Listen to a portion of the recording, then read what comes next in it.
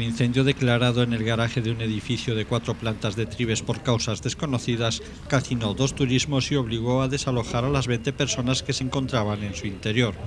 Las limitaciones de medios de los voluntarios de protección civil de Tribes obligaron a intervenir a los bomberos del parque de Valdeorras que tardaron 45 minutos.